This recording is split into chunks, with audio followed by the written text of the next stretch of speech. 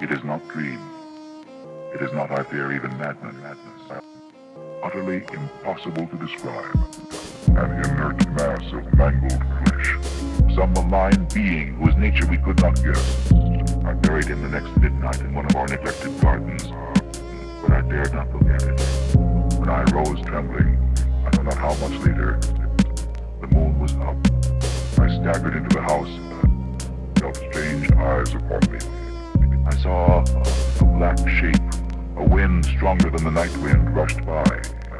His screams had reached the house. I sank into the nethermost abysses of despair.